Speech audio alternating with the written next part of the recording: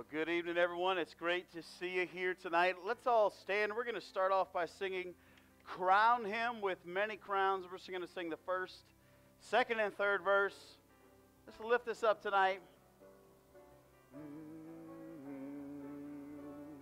Crown him with many crowns, the Lamb upon his throne. Hark how the heavenly anthem drowns, oh music but its own. Awake my soul and sing of him who died for thee, and hail him as thy matchless King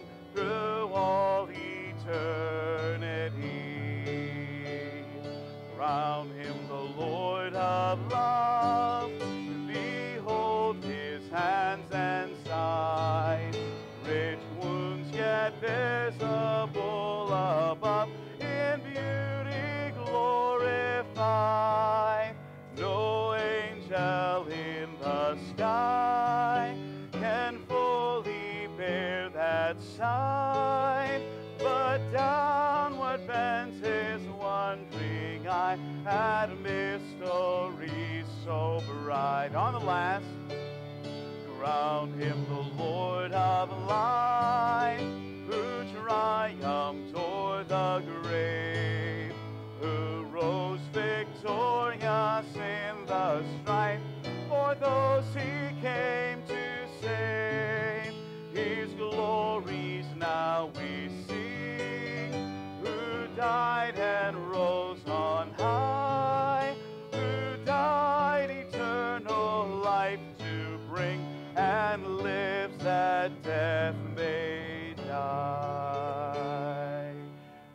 pray with me on this uh, Wednesday evening? Father, we thank you so much for the privilege it is to be back here in your house tonight. And I pray, God, as we uh, open up the Word, as we uh, pray together, as we fellowship with one another, our hearts would be knit together in you, Lord. And uh, Father, we'd go away from this place encouraged. Lord, that our souls would be lifted up, our hearts would be calmed, our uh, Lord, our, our faith would be deepened in you tonight. Father, I pray for all of our young people over in the fellowship hall and our youth group as they'll go out in just a moment. Uh, Lord, may tonight just be a profitable time of being drawn closer to you. In Jesus' name we pray. Amen. We're going to sing another song tonight. Um, and uh, I'm sure that you know uh, most of it, okay? But uh, it's an older hymn that's got, that's been put, uh, a chorus has been put to it, okay? So uh, my hope is built on nothing less than Jesus' blood and righteousness. I dare not trust the sweetest frame. You guys know that one? Okay, all right. So then, uh, then there's a little chorus added to it. So once you catch it, go ahead and uh, join in with me. But it is uh, the name of the song is called Cornerstone.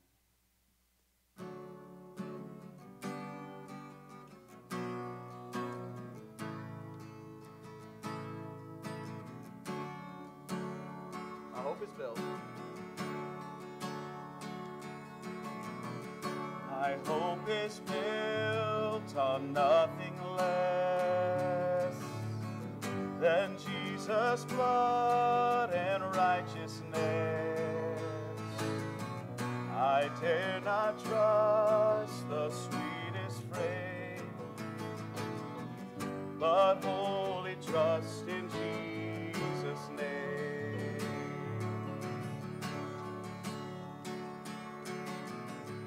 When darkness seems to hide his face, I rest on his unchanging grace.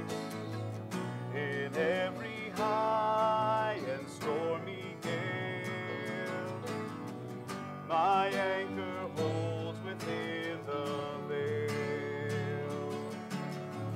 My anchor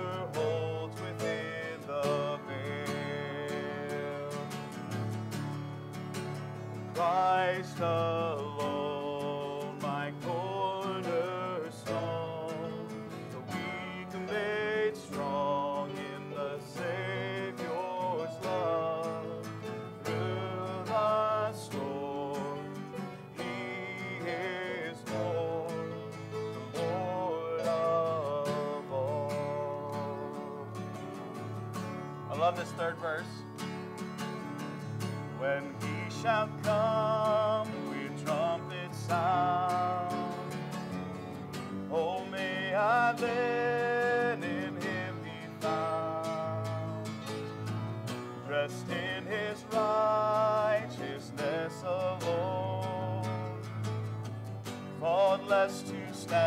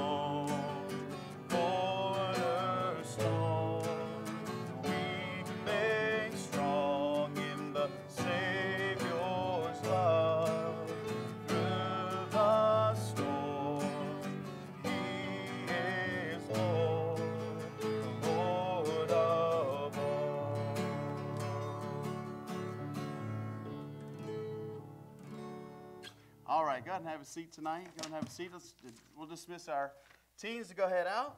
You guys have a good night. Thank you for that, Hannah, playing for us.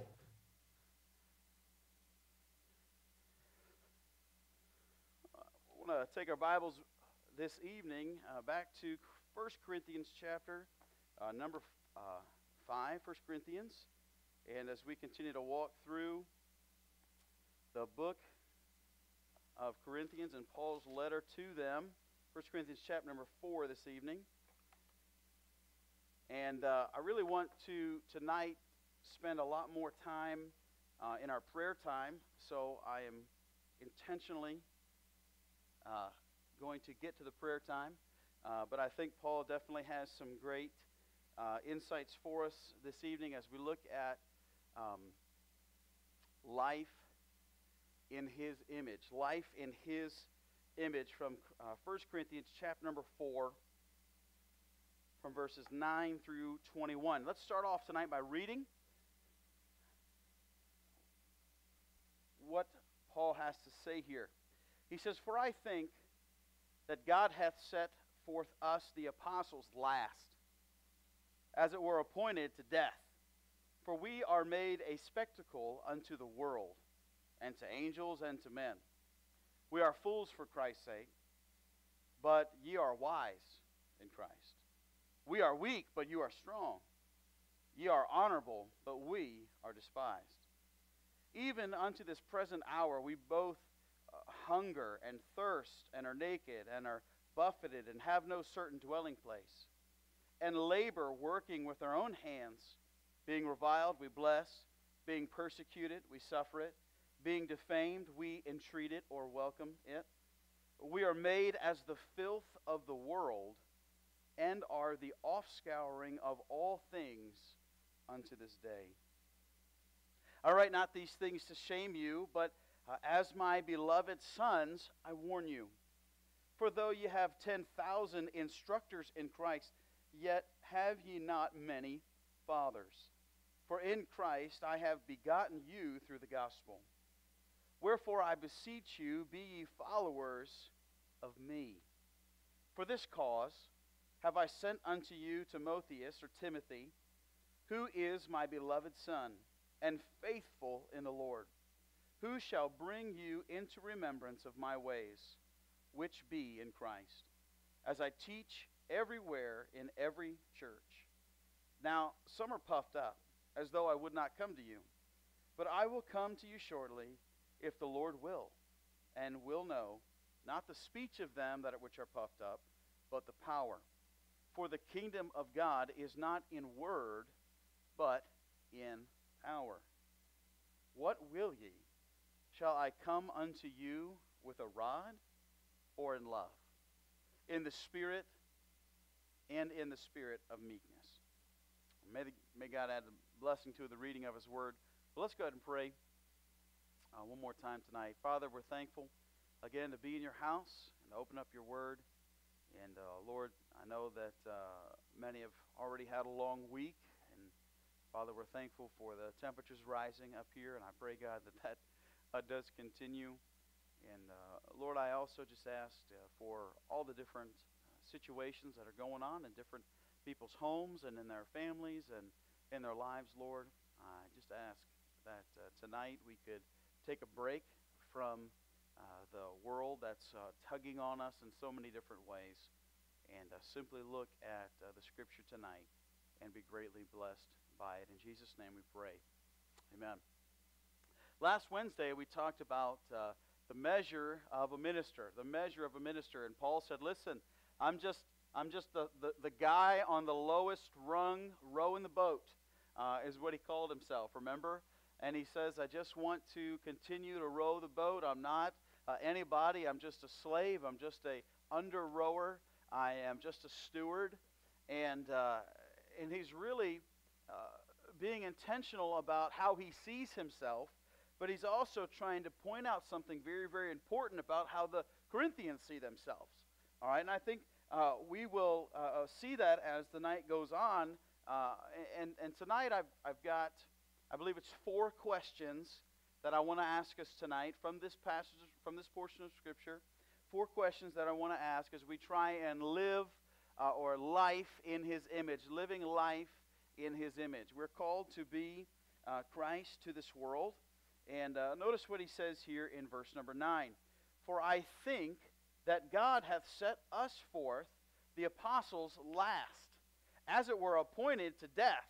For we are made a spectacle unto the world, and to angels, and to men. Now, right here at the very beginning, Paul is talking about the uh, uh what's about to happen and what is happening to uh, all of the major church leaders. They've been scattered out all over the place now. Persecution is following them. They're going to uh, continue to be persecuted. And by persecution, I don't mean that they've got a door slammed in their face. I don't mean uh, that they, they don't get a job opportunity. They're uh, uh sewn into uh, uh, lambskins and thrown into the Colosseum to be eaten by lions. Okay? they are dipped by Nero into hot wax and burned alive in Nero's gardens at night. Okay? For the cause of Christ. And, and so persecution is coming, and, and you can read Fox's Book of Martyrs and, and, and tradition uh, that is passed down from church history that tells us how each and every one of the apostles uh, was uh, killed. And soon it'll be that Paul uh, will lose his head over preaching the gospel at Rome. And so we see a track record of Paul understanding uh, what it's going to mean to live life in the image of Christ. What it's going to mean. What it, not, not, just, not just the words, right? Not just saying it, but what it means to actually be it. Those are two different things, are they not? They really are. So he says here in verse number 10, and this is where we get our first question. He says, We are fools for Christ's sake. We are fools for Christ's sake. And you know, you know the word. We've talked about it several times already. It's that word morios, right? Uh, we're, we're morons for Christ's sake. I want to ask you a question tonight. And, and listen, I want to ask myself a question. I don't want to ask everybody watching on the internet tonight. Are you willing to be a fool for Christ? Are you willing to be a fool for Christ? Well, let me just say this by, uh, you know, way of, uh, you know, uh, understanding what we're talking about now and really kind of just making it clear to us. Um, if you and I are unwilling to talk about Christ with anyone, then we are unwilling to be a fool for Christ. You know, there, there are no secret Christians. You know, uh, th- this, this life that you and I are called to uh, is going to cost us something. And Paul said, Everywhere I go, he said, Everywhere I go, later on, uh, I preach in every church, I teach everywhere I go the gospel. Are we willing to be a fool for Christ's sake? But he contrasts them. He says, But you guys are wise in Christ. Well, hold on a second. Is he being a little uh, is he being a little facetious here? Is he being a little sarcastic here? I believe he is. If he calls himself a fool, but but I'm a fool for Christ, but you guys you guys are wise. And notice what he says: uh, We are weak, but you are strong. Ye are honorable, but we are despised.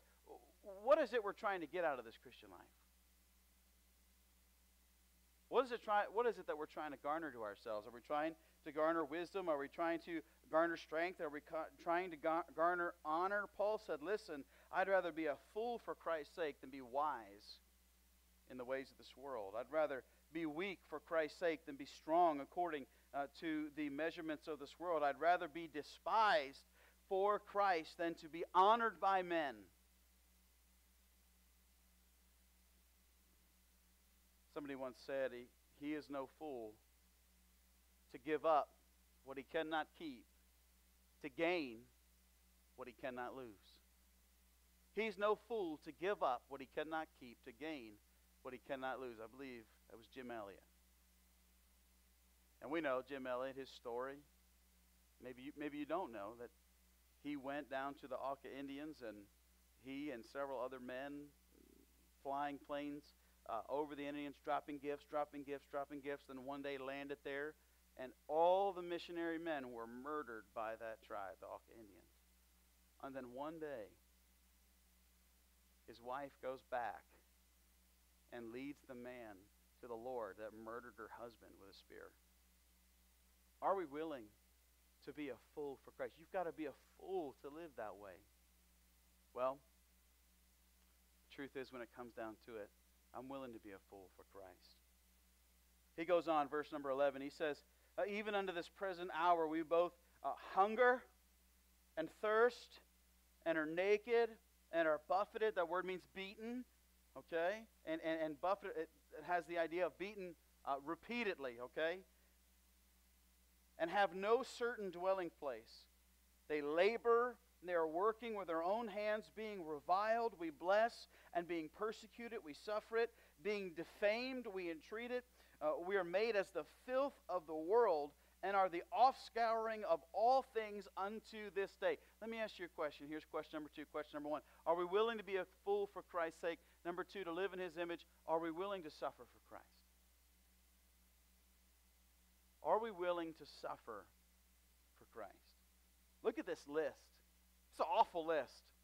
I, I, I, don't know that I would get past one or two things on the list, right? You, you know, so uh, when we have a flat tire, uh, when we walk out in the morning, we have a flat tire, all of a sudden, we're not going to live that day for Christ. That just ruins our day, you know? But look at this list. Look at this list here. He says, We hunger, we thirst. They're naked, they're, they're buffeted, they're beaten. There's no place there's no place where they know they're going to stay. They're working, they're laboring with their own hands, and, they're reviled for it. They're called, called names, they're uh, defamed, they're persecuted. They're made as the filth of the world. Get a picture in your mind of the filth of the world. Your definition. And Paul said, For Christ's sake, I'll be that for Christ's sake. I can't help but wonder if in our lives we've set the bar too low. The image of Christ, to live life in his image, have we set the bar too low? Are we willing to be a fool for Christ? Are we willing to suffer for Christ? Verse number 14. I write not these things to shame you, but as my beloved sons, I warn you. Now, the truth is that uh, these words, remember, uh, what, what would happen is uh, the church would be gathered wherever they would gather, and this letter, this giant scroll, would be read uh, in the church. All right, so the church is hearing these things uh, all together, all at once, and then they're supposed to pass it around to the other churches, make copies, and all those things. And so imagine sitting in church and your former pastor, uh, a former pastor who led you to the Lord, who has loved you, who's discipled you and baptized you, all these different things, and he's talking about uh, how low the bar is uh, that you've set, and then he says, "Listen, I but I, I, want you to understand, I'm not writing these things to make you feel like a like a piece of trash. All right, I'm not writing these things to, to shame you. All right, but I love you, and there's a love that th- that's there for Paul, like a father that has led individuals to Christ. That's what he's talking about, a spiritual father. He says, I write not these things to shame you, but as my beloved sons, I warn you, for though you have 10,000 instructors in Christ, yet have ye not many fathers. For in Christ Jesus I have begotten you through the gospel. Now here's the deal. Uh, any time any one of us uh, has the privilege, has the opportunity to lead someone to Christ, uh, we should then take on the responsibility of nurturing that person up in Christ, discipling that person to have a deeper relationship with Christ. It can't always, doesn't always work out that way. You know, you uh, witness to someone on a plane or uh, you're in a far away country or whatever it may be, but there should be people right here in this place uh, under, under our guidance, under our uh, teaching, that we are building up for the cause of Christ. Are you willing uh, to suffer for Christ? Are you willing to be a fool uh, for Christ? Are you willing to be duplicated for Christ? Are you willing to take on the responsibility of sharing your faith and then building somebody else's faith up? You know, the truth is, truth is, preacher, one day somebody's going to replace us.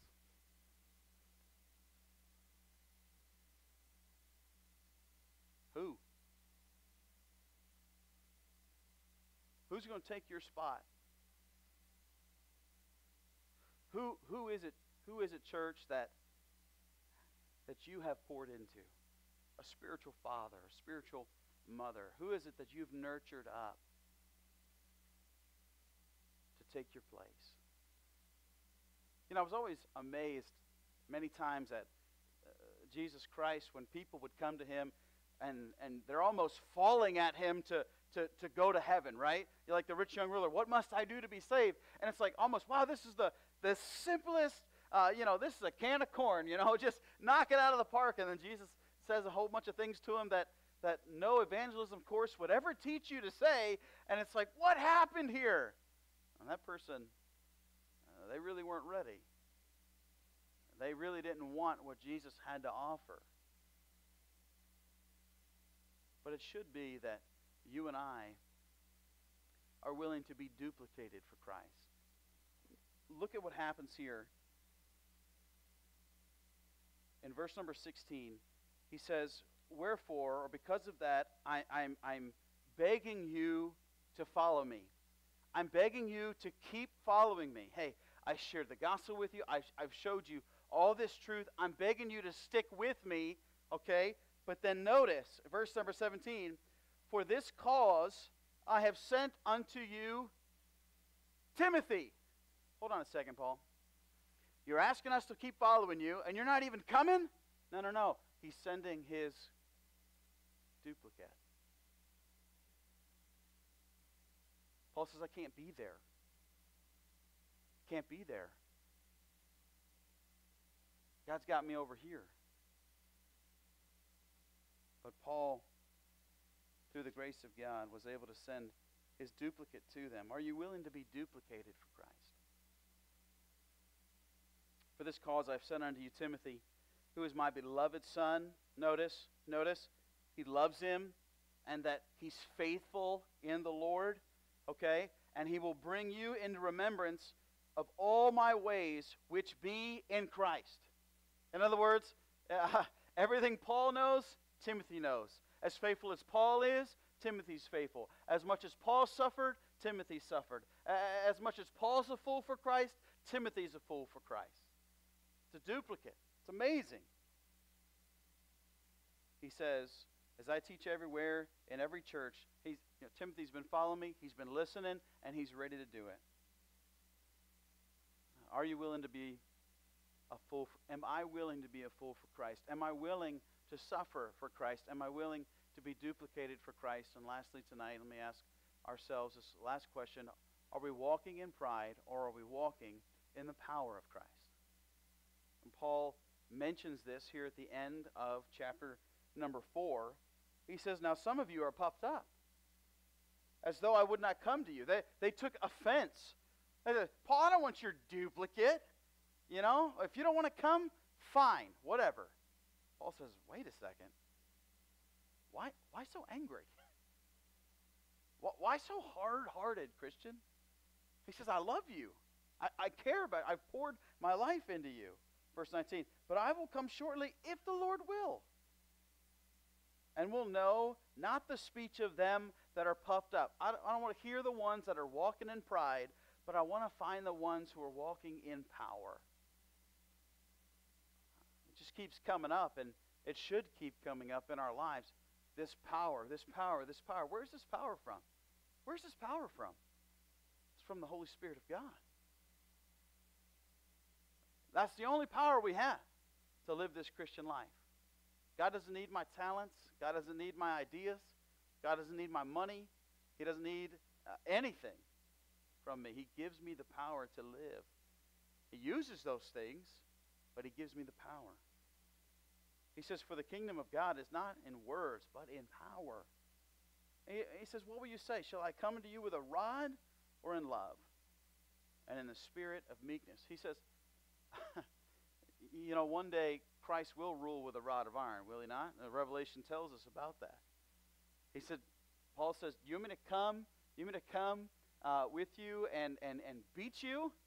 Or you want me to come to you and love you? He says, I'm walk I'm trying to walk, I'm trying to live in Christ's image. And so I'm not coming with a rod, I'm coming in meekness. I'm coming in love. I'm coming trying to get the things straightened out in your life. I'm trying to duplicate in you the image of Christ.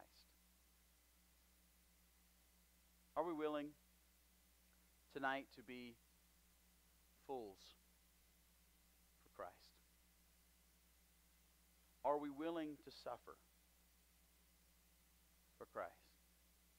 We, we really we really do a good job of insulating ourselves from suffering, don't we? I mean, it's almost like it's almost like the number one goal. And I get it. I don't want my I don't want my kids to be hungry. I don't want them uh, to go uh, without, and uh, I don't want I, you know I don't want bad things to happen to them. But I do want them to live a a faithful life for Christ. And the truth is, that will cost something. It will cost It should cost something. That which you attain cheaply, you esteem lightly. Right? Oh, it was just a quarter. I don't worry about it. It's just a quarter. Oh man, that cost me $10,000. You to take care of that? Paul says, listen, listen. Being conformed in the image of Christ has cost me dearly, and giving it to you, sharing the gospel with you, has cost me dearly. And I want you to hold it, and I want you to hold it for yourself in high regard. Are we willing to suffer for the cause of Christ? Are we willing to be duplicated for the cause of Christ? And are we walking in pride, or are we walking in the power of Christ? Are we walking in the Spirit of God? Well, like I said, I really wanted to get to our prayer time tonight. I want us to have a lot of time uh, to pray tonight. So um, let's go ahead and pray. Brother John's going to shut our stream off. And I uh, just wanted to say thanks to all those who uh, hopped in via the live stream. We care about you too. We're praying for you. And uh, if you're local, we would love to have you come join us Sunday morning, 10:30, Sunday night at 6 or Wednesday night here at 7. Uh, we'd love to be a great blessing to you and love on your family. I hope you guys have a great night.